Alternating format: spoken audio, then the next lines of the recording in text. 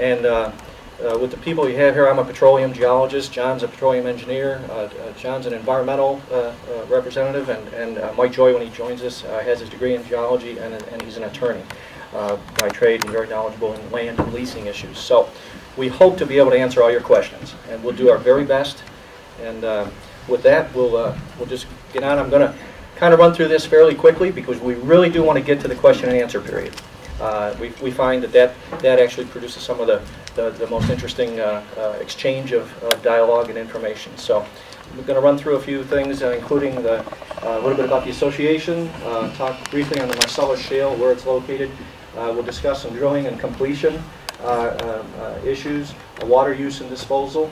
Uh, we'll talk about New York's uh, oil and gas regulatory program uh, governed by the DEC. And also, uh, we're just going to touch at the very end, just for a few minutes, on some of the economic uh, considerations of, of drilling what it means to uh, the state and the municipalities and, and landowners. But uh, IOGA of New York, I say IOGA, IOGA, it's the Independent Oil and Gas Association of New York. We are a trade association, of about 350 members. Uh, we represent um, all aspects of the industry.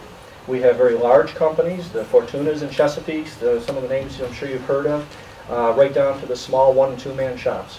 Uh, we represent drillers and service companies and, and uh, transportation and, and pipeline companies and such, uh, and uh, consultants and, and everybody. So, and we, we interact uh, with the New York State DEC on the regulations that govern our industry. Can you all hear me okay uh, in, in the back? Okay, um, but for now, until we figure out how to turn it up, I'll just get closer. Um, and so, okay, John, I'll keep talking so you can tell when you're finding the right knob there. Uh, oh, there it is. Okay. Uh, is that is that a little bit better? Too loud? Or? Okay. Um, one thing that I want to uh, mention right up front is that the industry is not new to New York State, and, and I know many of you know this, but I do want to mention that the first well was drilled in 1821 back in western New York in Chautauqua County. Um, since then, of course, uh, there have been numerous wells drilled, about 75,000 wells drilled in New York State.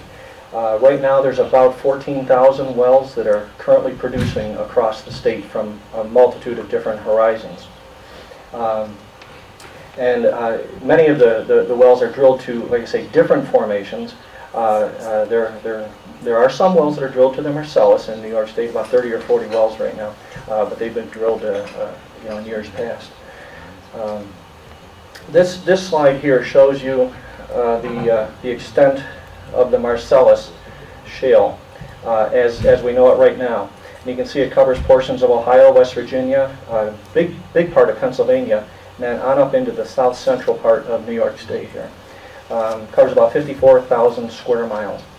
And that's just where it is present, just physically present, that, that particular geologic uh, uh, formation. Uh, this map is about maybe six months old or so right now, but still, uh, it gives you an idea of where the, the drilled and permitted wells are in, in the Appalachian Basin. So um, permitted wells are shown in green dots. You can see there's, there's many of them scattered throughout this whole area, and the drilled wells for the Marcellus are in, in red dots. So there's about uh, 2,400 that have been permitted and about 1,500 drilled in this uh, four, four or more state area. Uh, you can see there's about 30 or 40 up here in New York, like I said, but these are predominantly vertical wells that have been drilled for, for many years in New York. Uh, this slide just gives you an idea, uh, a good comparison of the size of the Marcellus Shale in the Appalachian Basin here uh, with the, uh, for example, the Fayetteville uh, Shale or the Barnett Shale down here in Texas. Uh, so you can see we're, we're sitting on a huge, huge natural gas field in the northeast here. Uh, one thing I just want to mention real, real briefly is the geology, and it does, we, we certainly don't have time tonight to go into the actual geology of the Marcellus, but I just want to point out that there are a lot of geologic factors that will determine whether or not drilling in the Marcellus is profitable or, or, or will make sense in a, in a certain locality. And these include the, the, the, uh, the lithology, uh, the makeup of the shale, uh, the thickness, that's very important, thickness, and also the depth and the pressures. Right now it's believed that, the, that it has to be, be found at about 3,000 feet deep or deeper, 3 to 4,000 feet minimum.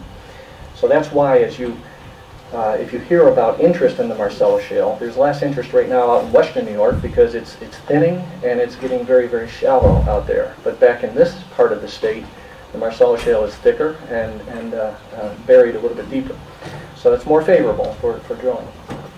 And then uh, fracturing and structural implications, uh, total organic content of the shale has to be there. So the bottom line is the, the jury's kind of out because we haven't been allowed to drill for the Marcellus horizontally in New York State yet. And we'll, we'll talk about that later in the, in the program.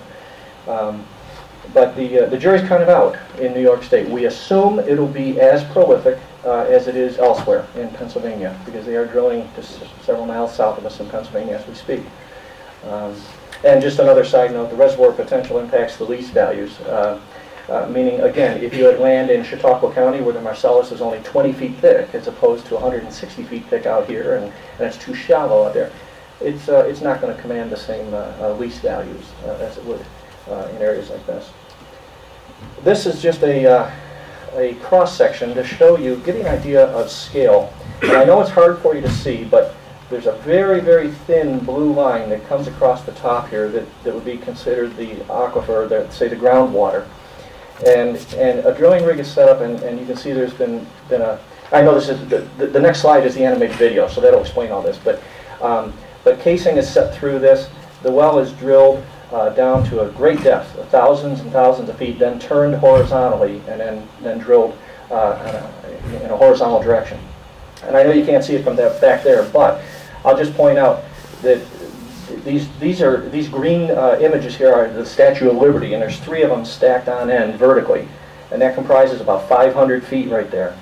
So what we call the kickoff point, the point where the well goes from vertical to beginning to make its bend, uh, it takes about 500 feet to, to make that bend.